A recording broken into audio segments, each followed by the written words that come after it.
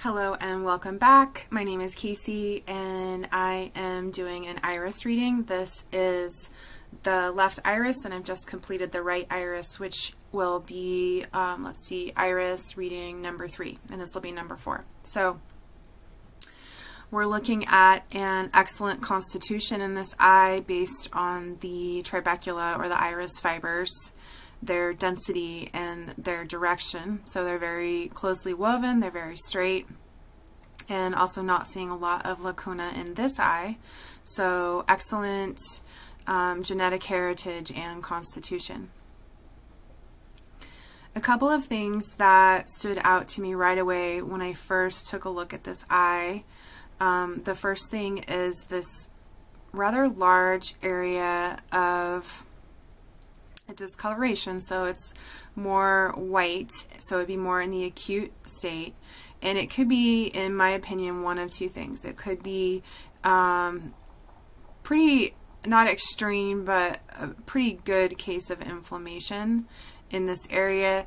It's interesting though because this area spans, you know, several different zones anatomically speaking. We have the upper abdomen, the spleen, the arm and the hand, so to have an inflammatory area that that covers all of those zones would be interesting. I'm I'm leaning towards thinking that it could actually be some sort of residue or cloud from some prescription medication or some other toxin that was inhaled.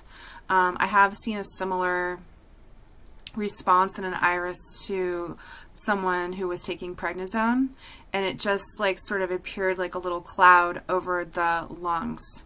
And that told me that that's where the toxin settled and that the lungs were the organ of elimination that would need to remove that that that toxic settlement.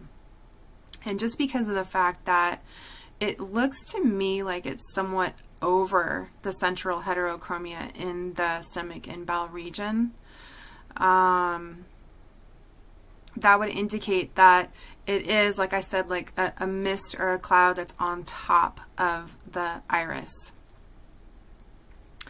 And within this zone, we have several different anatomical regions represented. So whether it be uh, inflammation, it could be inflammation in this area, it could be an acute activity taking place in all of these zones.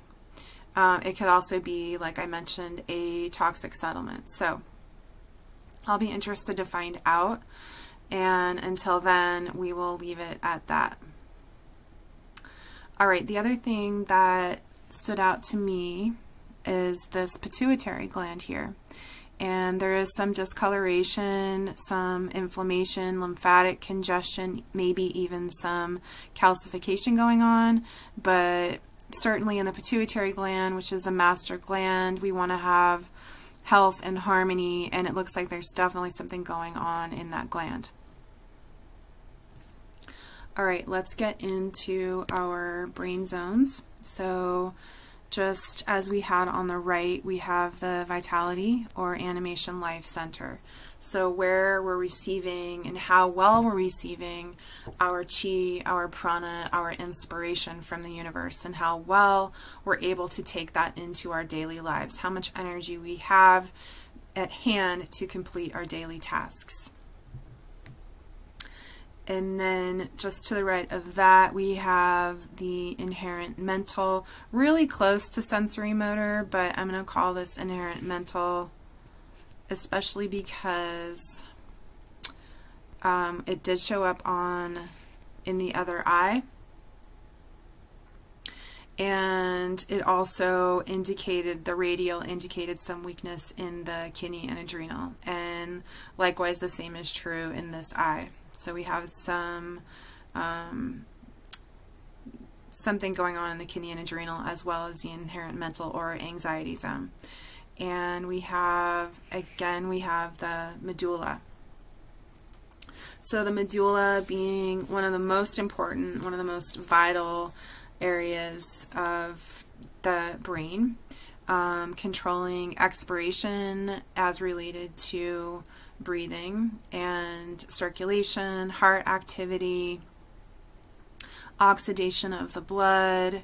Um, it also contains centers for reflexes such as hiccuping, sneezing, and coughing.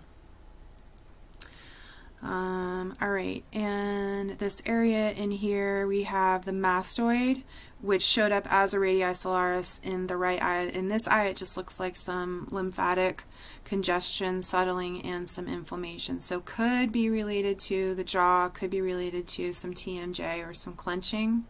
And then again, we have a lot of inflammation going on in the neck and shoulder on the left side and the right side. And this little mark right here, you know, I saw a mark like this in the right eye and it looked like a mark I would see where a bone had been broken. Um, so I'm not sure if, and, and the same is true for, for the other eye, it could be a, bro a, a broken bone, and this is in the neck area, um, that has healed, or it could also be a tiny little I mean, honestly, it doesn't look like a lymphatic tophi, so I, am guessing that there was some trauma to this area of the body and just a lot of inflammation. It looks like there could be some chronic pain in the entire neck and shoulder. All right, and I need to circle the pituitary and so that I can remember that I talked about that. And also let's go ahead and highlight this zone down here. Okay, and getting back into the brain zones. Um, so animation life, and then we have this, um, you could you could call it self-stress, you could call it perfectionism. Um, most commonly, it's called ego pressure. So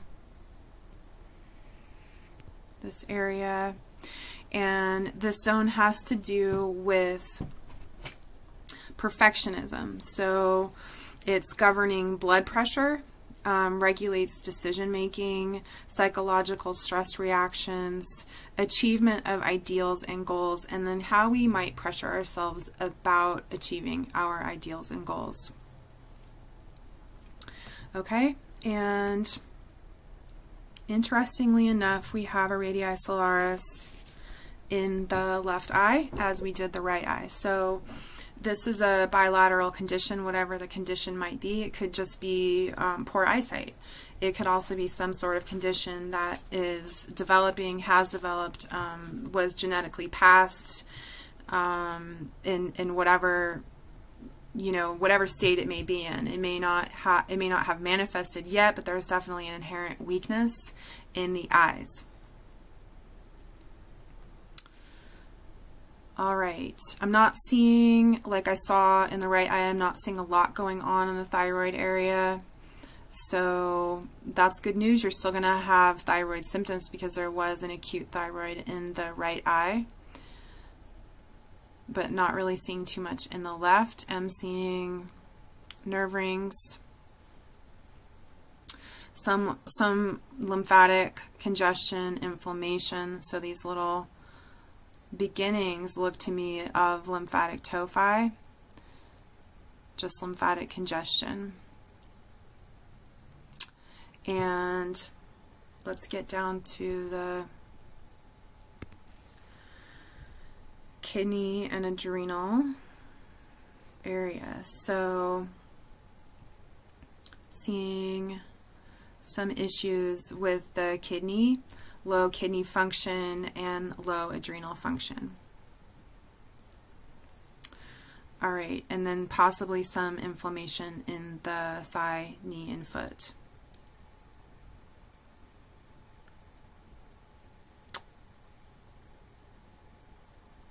Okay, there's also these little growths on the eye, and they're not, it looks definitely like the structure of the eye is raised in that area. Again, it's not the most highly defined photograph, but that's what it looks like to me. And it could be that they started out as a psora spot, some, some little spot like this or this or this. could have triggered an irritation within the system and some sort of subsequent growth in that area of the iris itself. All right, and let's take a look at the heart area. It looks healthy.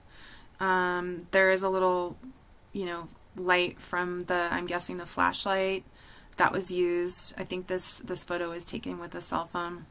And, but either way, I can see well enough to say there's not, um, there's not any lacuna on the heart. It doesn't look like any darkening in that area. Looks like a healthy heart. And let's go ahead and say it's a healthy heart. And we're seeing, just like in the right eye, we have a skin ring.